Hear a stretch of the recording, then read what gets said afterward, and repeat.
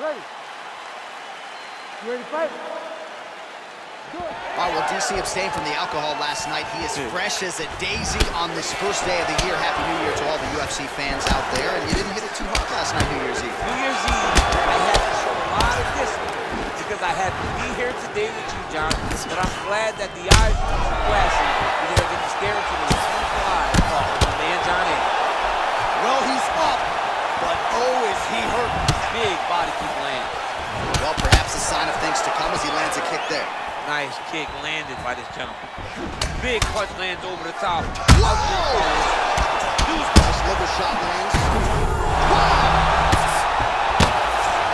Oh, big combination of ground and pound strikes here, DC. This could be the beginning of the end. I mean, you gotta be very careful when you take these big ground and pound strikes. You need a controlled posture on the bottom, and if you're the top guy, the guy that's looking to finish, strikes on your opponent.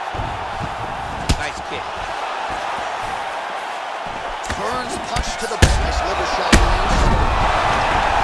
Oh! Oh!